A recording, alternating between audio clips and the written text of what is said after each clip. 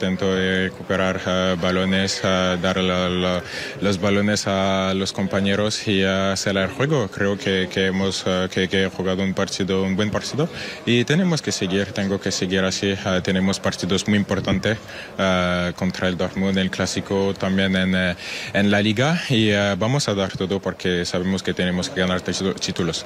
¿Cómo es tener a dos compañeros, a dos cracks y a dos fenómenos como Kylian y como Vini que han hecho esos dos golazos hoy? Eso es increíble eh, tener la oportunidad de jugar con, con ellos todos los partidos.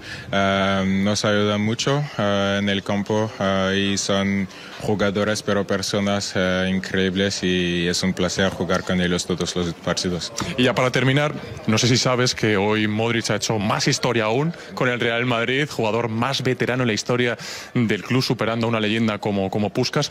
¿Cuánto aprendes tú de él y qué es lo que aprendes exactamente ahí en el centro del campo? De verdad todo, eh, la humildad sobre todo porque es un jugador increíble, eh, ha ganado el, el balón de oro, pero es una persona normal, es un jugador increíble eh, y con y sin balón es un ejemplo para nosotros y tenemos que, que- que mirar a él porque es, como he dicho, es un jugador increíble. Eres un crack, gracias, Orel. Gracias. Chao.